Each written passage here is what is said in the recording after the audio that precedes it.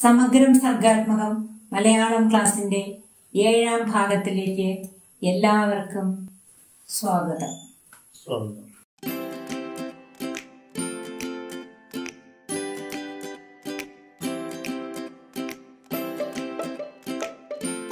ഇന്നത്തെ ദിവസത്തിന്റെ പ്രത്യേകത വായനദിനമാണ് ഇത്തവണ വായന പക്ഷാചരണമാണ്. ഇത്തവണ കുറച്ച് കാര്യങ്ങളായിട്ട് വായന ഒരു ദിവസമല്ല ഒരു രണ്ടാഴ്ച നീണ്ടു നിൽക്കുന്ന പ്രവർത്തനങ്ങളാണ് അല്ലേ? സ്കൂളുകളിലും വായനശാലകളിലൊക്കെ നടക്കുന്നത് ഇതൊക്കെ വായനയെ പ്രോത്സാഹിപ്പിക്കാനാണ് തൽക്കാലം ഒരു ദിവസം മാത്രം വായിക്കാനുള്ളതല്ല ലക്ഷ്യം. വായിച്ചു വളരുന്നതിനും അറിവ് നേടുന്നതിനും നമ്മൾ വായിച്ചിടുക വളരുക വളരുക നാടിന്റെ മകളായി വായിച്ചിടുക വളരുക വളരുക നാടിന്റെ മകളാകുക നാം. അറിവിനക്ഷയനിധി നേടാൻ അക്ഷരമധുരം നുകരാനായി. അക്ഷരം മധുരമാണ് അമൃതാണ് അക്ഷരം. അത് നമ്മളെല്ലാവരും നേടിയിരിക്കണം. നമുക്ക് കാര്യത്തിലേക്ക് കിടക്കാം. ഇന്ന് നമ്മൾ പരിചയപ്പെടാൻ പോകുന്ന അക്ഷരം ഴ എന്നുള്ളതാണ്. ഴ എന്ന് പറയുമ്പോൾ ഴയിൽ തുടങ്ങുന്ന അക്ഷരങ്ങൾ ഇല്ല എന്ന് തന്നെ പറയും.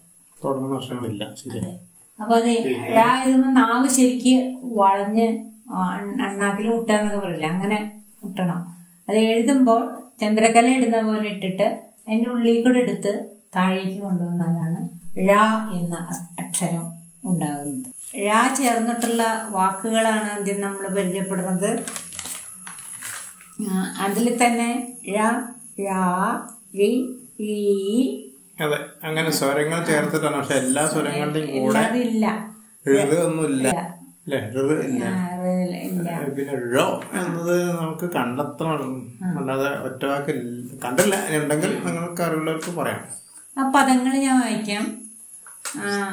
അത് എഴുതി കാണിക്കുകയും ചെയ്യാം. പുഴ വേഴാമ്പൽ മിഴി അഴീക്കോട് മഴു പാഴൂർ താഴെ താഴേക്കാട് താഴോട്ട് പഴം താഴ് പൂഴി ചാഴി പെരുച്ചാഴി പെരുച്ചാഴി എന്ന് പറഞ്ഞാൽ എലിയുടെ കൂടിയ തരം.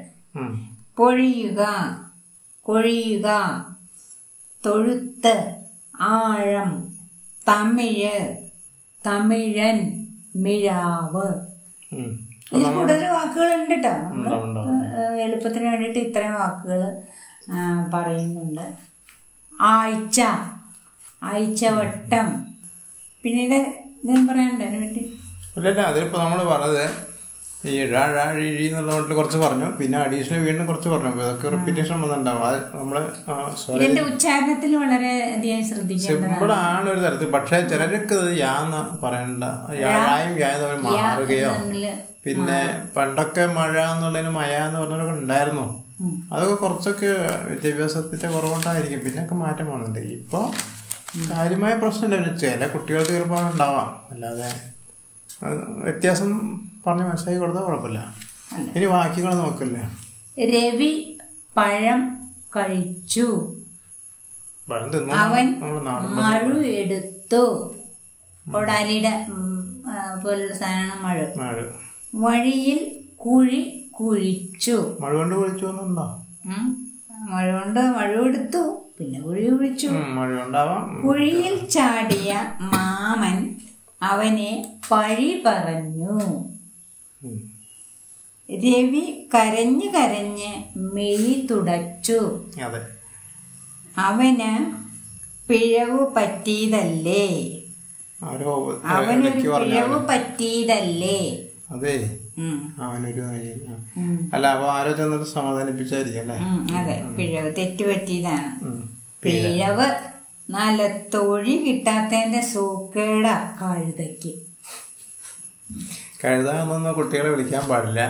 തൊഴിക്കാൻ പാടില്ല എന്നുള്ളപ്പോൾ ഞാൻ പ്രത്യേകം എഴുതി കാണിക്കാം നമ്മളല്ലോ മദ്യപാനം പാടില്ല എന്നൊക്കെ പറഞ്ഞ പോലെ നമ്മളിത് ഒരു ഇഴ ചേർക്കാൻ വേണ്ടി പറഞ്ഞാണ് ഇതൊന്നും പ്രാവർത്തികമാക്കരുത് വഴിയിൽ കുഴി ഒഴിക്കരുത് മാമനെ വീഴ്ത്തരുത്.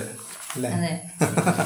താൻ കുഴിച്ച കുഴിയിൽ താൻ തന്നെ വീഴാൻ സാധ്യത ഓ നല്ലൊരു ഴ വന്ന ഇതിലൊക്കെ ഴ വരുത്താനാണ്.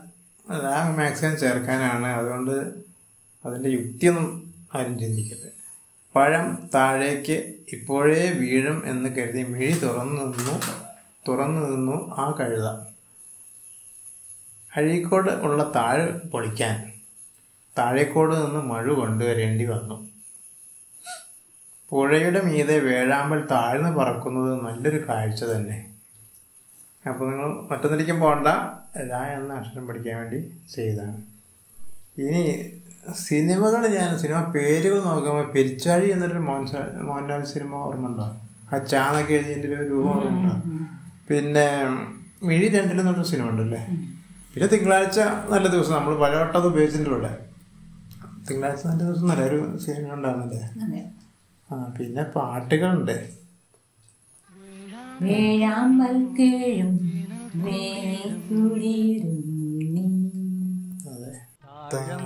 മണമുള്ള തണുപ്പുള്ള രാത്രിയിൽ.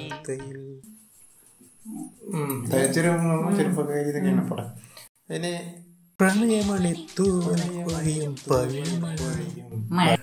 നിറ മഴയാണ് പാട്ടിൽ മഴവിൽ കുളിരഴകി വിരിഞ്ഞൊരു വർണമഴ. തോരാത്ത മോഹമേ മഴ. ഗന്ധർവഗാനമീ മഴ മഴയുടെ പല ഭാവങ്ങൾ പിന്നെ മേലി ഒരു പാട്ടുണ്ട്. അല്ലേ? ആ വരുന്ന പാട്ടുകൾ വേറെ ഉണ്ടാവും പെട്ടെന്ന് ഓർമ്മ വന്നു. പിന്നെ നമ്മുടെ ഈ ഒപ്പന പാട്ടിൽ സ്ഥിരം കേൾക്കണാണ് അഴകത്തൊന്ന അഴകത്ത നാരി ഇപ്പൊ വായനാ പക്ഷാചരണത്തിലേക്ക് നമുക്ക് നെറ്റ് നോക്കാം. നമ്മളിപ്പോൾ ഉദ്ദേശിക്കുന്നത് കുട്ടികളെന്നല്ലല്ലോ അപ്പോൾ സ്കൂളുകളിൽ നിന്നുള്ള പ്രവർത്തനമൊന്നും അവർക്ക് കിട്ടുന്നതായിരിക്കില്ല. അപ്പോൾ എന്ത് ചെയ്യണം എന്ന് വെച്ചാൽ നമ്മൾ അടുത്തുള്ള വായനശാലകളുമായിട്ട് ബന്ധപ്പെടുക. അവിടെ അധികം കൂടിയതല്ലാതെ വളരെ ലളിതമായ പദങ്ങളും ഒക്കെ ഉള്ള പുസ്തകങ്ങൾ തരാൻ പറയുക. അതെ വായനശാലയിൽ യോഗം ചേരുമ്പോൾ പറഞ്ഞ അനുഭവമുണ്ട് ഒരു കുട്ടി വരുമ്പോൾ ആ കുട്ടിക്ക് ഒരു പുസ്തകം എടുത്തു കൊടുത്തു. കുട്ടി അത് കൊണ്ടുപോയിട്ട് ഒരു പുതിയ തേങ്ങ പോലെ കൊണ്ടിട്ട് അവൻ തിരിച്ചു വരുന്നു. പിന്നെ അവൻ വേണ്ടെന്ന് വെക്കുന്നു. എന്ന് വെച്ചാൽ അവന് ഇഷ്ടപ്പെട്ട ബാലസാഹിത്യം അല്ലെങ്കിൽ എന്തെങ്കിലും അവന്റെ വയസ്സിനും പ്രായത്തിനും അനുസരിച്ചുള്ള കാര്യങ്ങൾ എടുത്തു കൊടുത്തില്ലെങ്കിൽ അവന്റെ വായന അവിടെ അവസാനിക്കും. അപ്പൊ ഈ ബാലസാഹിത്യം എന്ന് പറഞ്ഞാൽ ചെറിയ കുട്ടികൾക്കുള്ളതാണെങ്കിലും സ്റ്റാർട്ടിങ്ങിൽ അക്ഷരം അറിയാത്തവർക്ക് അത് ആശ്രയിക്കുന്നതിൽ തെറ്റൊന്നുമില്ല. തെറ്റൊന്നുമില്ല. വലിയ അക്ഷരത്തിൽ എഴുതിയിട്ടുണ്ടാവും ചിത്രങ്ങൾ ഉണ്ടാവും അപ്പൊ അത് ഞാൻ പത്ത് പതിനഞ്ച് വയസ്സായാലോ വിചാരിച്ചിട്ട് അല്ലെങ്കിൽ സ്കൂൾ വിദ്യാഭ്യാസം കഴിഞ്ഞാണല്ലോ വിചാരിച്ചിട്ട് കടുകട്ടി പുസ്തകം എടുത്ത് വായിക്കാൻ പോയാൽ വായനാശീലം അതുകൊണ്ട് വായന ആദ്യം രണ്ട് വരി വീതം വായിച്ചാലും മതി. കൂട്ടി വായിക്കുക. പിന്നീട് നമുക്ക് ഒഴുക്കുള്ള വായന കിട്ടും. അതുവഴി ആശയങ്ങൾ ഗ്രഹിക്കാനും അത് എഴുതാനും ഒക്കെ ഉള്ള ശേഷി എല്ലാവർക്കും ഉണ്ടായിത്തീരട്ടെ എന്ന് ആശംസിക്കുകയാണ്. വായനശാല അടുത്തില്ലാത്തവർ വളരെ ദൂരം താണ്ടേണ്ട വരുന്നവർക്ക് മെമ്പർഷിപ്പ് എടുക്കാനൊക്കെ ബുദ്ധിമുട്ടുള്ള ഒരു ടൗണിലൊക്കെ താമസിക്കുന്നവർക്ക് അവർക്ക് മൊബൈൽ ലൈബ്രറിയൻ ചിലപ്പോൾ വീട്ടിൽ കൊണ്ടുവന്ന് തരണ്ടാവും. അതുമില്ലെങ്കിൽ നമുക്ക് ഫേസ്ബുക്കിനെയൊക്കെ ആശ്രയിക്കാം. കഥകൾ വായിക്കുന്ന ഓരോ ആപ്പുകൾ ഉണ്ട്. അപ്പോൾ മൊബൈൽ മൊബൈൽ ആപ്പുകൾ. മൊബൈൽ ആപ്പുകൾ വഴി നമുക്ക് കഥകൾ കേൾക്കാൻ പറ്റും.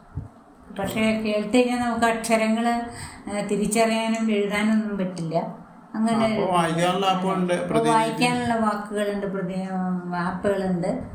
പ്രതിലിപി അങ്ങനെ തുടങ്ങിയ ആപ്പുകൾ വഴി നമുക്ക് വായിക്കാവുന്നതാണ്. എന്ന് മാത്രമല്ല നമ്മുടെ തന്നെ പരിചയക്കാരായ നാട്ടുകാരെ എഴുതുന്ന ധാരാളം ലേഖനങ്ങളും കഥകളും കവിതകളും മറ്റ് വിജ്ഞാനപ്രദമായ കാര്യങ്ങളും എല്ലാം ഫേസ്ബുക്കിൽ നിന്ന് നമുക്ക് വായിക്കാം. അഥവാ വായിക്കാൻ അറിയില്ലെങ്കിൽ തന്നെ നോക്കി നോക്കി നമുക്ക് പഠിച്ചെടുക്കാനായിട്ട് ശ്രമിക്കാവുന്നതാണ്. അപ്പോൾ ഈ രണ്ടാഴ്ച നിങ്ങൾ അതിന് വേണ്ടിയിട്ട് കുറച്ചൊന്ന് ശ്രമിക്കണം എന്ന് കൂടി പറയാം ശീലമാക്കണം